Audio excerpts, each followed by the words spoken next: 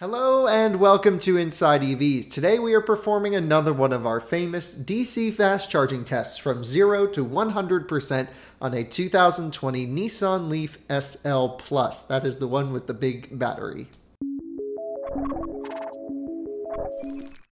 This is going to be pretty interesting, and it all pretty much comes down to the battery pack being ambient air cooled. There's no active thermal management anywhere for the Nissan Leaf's battery pack. And what that means is it can get really hot. And in order for the car to preserve its longevity, it limits its charging speed so that it doesn't fry the cells by charging it that fast. And it's called Rapidgate.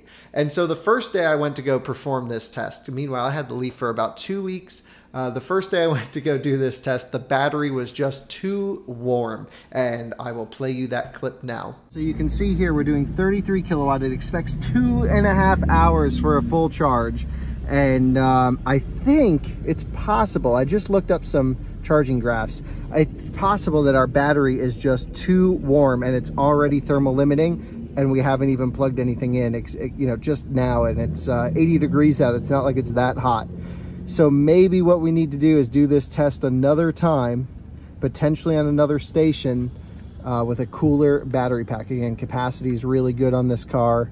Um, yeah, it's just pegged at 33 kilowatt. So you can see conditions weren't optimal for the car. We had to go back and reset. So I went back another day to the same Electrify America station and let me show you what happened then. Well, you join us on another day where the stations are completely replaced. And I actually charged on this unit the other day, worked first time, first go was amazing. But now it's cool outside. I ran the car almost all the way down. It's at 9%. And I came by here just to make sure the CHAdeMO would charge. And it's a good thing I stopped here first because of course there's only one CHAdeMO at EA stations and it's doing a Windows bootloader thing. Now I knew this ahead of time because on my way over here I checked the Electrify America app and it said it was totally unavailable. Here they're removing the last of the stations that were installed because the new Signet units are in. If I had a CCS vehicle it'd be no problem. There's three other stations that seem to be working fine, totally available.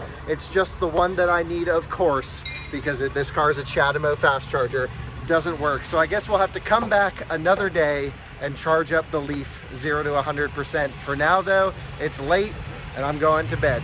So that station wasn't actually working that well, but then I got a notification on my phone and like seven calls from EA and they're like, hey, the charger works now because I tweeted it out that it didn't work.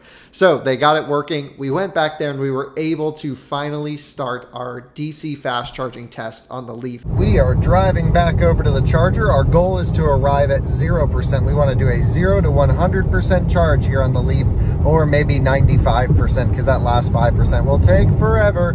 Couple things we want to note on this car, of course, the battery temperature, nice and in the middle. It is not warm and that should give us maximum speeds for this charging test. The other thing, battery capacity full. It's still a fresh car, only 4,300 miles on it. So we are all set for a pretty good charging test, assuming this charger works. And yes, we have made it. We are at 0%, zero miles, battery temperature is looking good. And look, the screen is working. Let me get the colors to show correctly. There we go. Ready to rock and roll. Power of Twitter right there. Now, before I play you that test, there's a few things that I wanted to go over everything, and I will voice over the test as well, sharing my thoughts throughout the entire charging session as to why we're getting certain speeds and why we're seeing certain things. But the first and most important thing here that I've noticed is the Nissan Leaf SL Plus is a CHAdeMO based car, and that's what makes it so difficult to road trip because the CCS network is getting built out massively and the CHAdeMO network is sort of dying. Uh, no new cars will be sold with CHAdeMO. I think the last one is the Mitsubishi Outlander PHEV, but honestly, no one in the US buys that anyway. And the Nissan Ariya, their next generation product, which is shaping up to be pretty nice, is going to be CCS and have active thermal management. So Nissan has learned their lesson after the Leaf saga with overheating. Now, the Leaf should, in theory, take 100 kilowatt peak of DC fast charging from CHAdeMO. The problem is there's like no stations, maybe one or two on the entire East Coast that can actually output that much charging power. And my plan was to go to one of those stations just up the road in Virginia. However, the problem would be if I had driven there and charged to get there, the battery would be too warm to accept 100 kilowatts. So there was almost no way for me to do a 100 kilowatt DC fast charging session. So I, I said, okay, no problem. I let the car sit all day and most of the night in the driveway to ambient temperatures, brought it over to my Electrify America station on a ambient temperature battery pack as close as I could get to it and plugged it in, and something amazing happened. And you'll see it here in this charging session. We actually blew past the Electrify America's rating of 50 kilowatt and it charged almost at 70 kilowatts. So you'll see that here. Now, it's not the full 104 that the car can take, but it's still an, an impressive number, especially considering the charger is only rated for 50 kilowatt max. Now, this is on Electrify America's brand new Signet units that they are installing, seemingly in place of Efacec units. Uh, that's why I also had to wait during this test because our whole station got ripped out for station reliability and they put a whole new one in. So that's a huge story. Really nice to see that Electrify America is putting that much effort into station reliability. It was just kind of a pain while they were down. We weren't able to get anywhere, but minor problem. We're past it and we can now travel up and down I 95 with brand new, fully functioning chargers. So let's go play the charging test, and I will voice over and share my opinions and uh, some some background as to why we're doing certain things here. And here we start our charging test on the Electrify America DC fast charger. You can see that we're being billed 15 cents per minute. This is before the switch to kilowatt hour in my state. So this is a little bit of an older charging test. You can see here though that we are ramping up 68 kilowatts, far surpassing the maximum of 50 kilowatt listed on the front of the screen uh, and anywhere else on this charger. Nothing indicates visually to the to the customer that this charger can output more than 50 kilowatt on a CHAdeMO charger. And certainly this is not a complaint. This is great. And if anything, it's really cool for the Leaf. In the bottom left-hand corner, you'll see the internal Leafs charging screen. Of course, the big blue screen is the Electrify America unit. You'll see state of charge, the amount of power that we're taking in.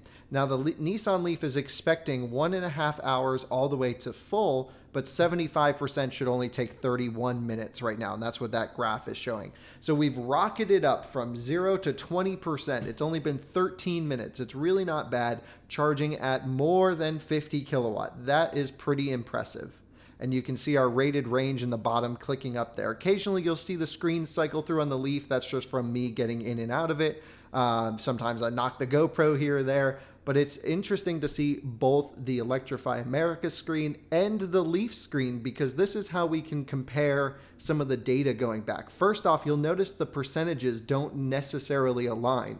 Uh, it seems that the EA station catches every other uh, percent. So it goes 36, 38, 40.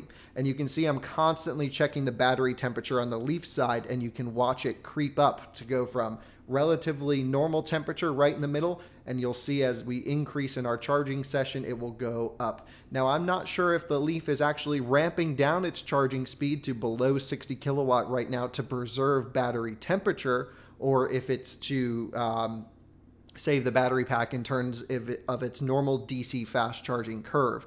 That would be an interesting one. You can see that battery pack temperature is really climbing up there now. So either way, I think this is about as good of conditions as you're going to get in the summertime. Now, in the freezing cold winter, this is not as big of a problem. You could probably get two or three DC fast charges throughout a day. So I'd love to perform this test again in the cold weather and see like an optimal DC fast charging curve for this car that might be a little bit better.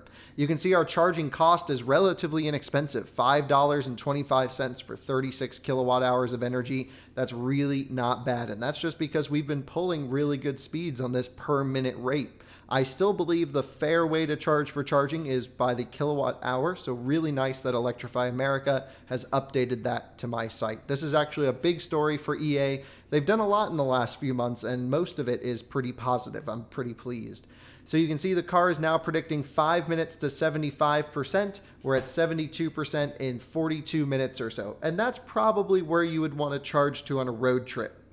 somewhere in that 75 ish percent range because you can see now we're tapering around 40 kilowatt, and that's just a little slow. Battery temperature is pegged almost into the red, which is just insane to me that Nissan still makes a vehicle without active thermal management. Keep in mind, the car had not been driven anywhere this day. It was about 75 degrees out. It was in the dark, so you didn't have any sunlight warming up components, even though the battery's underneath the car. And it still cannot take one DC fast charging test without overheating the battery. That's crazy.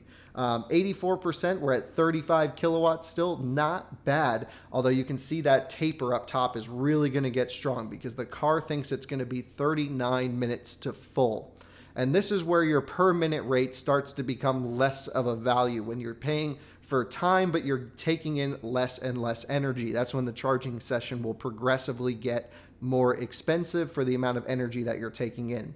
And we have reached 90% state of charge here in just a second in less than an hour. So from totally dead, again, the car wouldn't move, up to 90% took 58 minutes. And that's not great, but it's not horrible either. I'd say that's totally fine for your road trip. The question becomes what happens if you were to plug in at the next DC fast charger and say, okay, I have a hot battery how long would it take you then to get to 90%? And the answer could be an hour and a half, two hours, and sometimes more. Now we're really starting to taper 15 kilowatt at 94%. It's not horrible compared to other EVs, though. I just tested a Taycan with a huge battery pack, 90 something kilowatt hour. That was doing 15%, or sorry, 15 kilowatt around the same percentage. It's really not horrible. You can see our rated range, or our, our guessometer range ticking up to 184 miles and that's where we've ended the charging test. And there's your charging test. We finished up and again, not quite 100%, but very, very close. And I really appreciate you guys following along. Hopefully, you learned a little bit about DC charging charging speeds, and also the Nissan Leaf.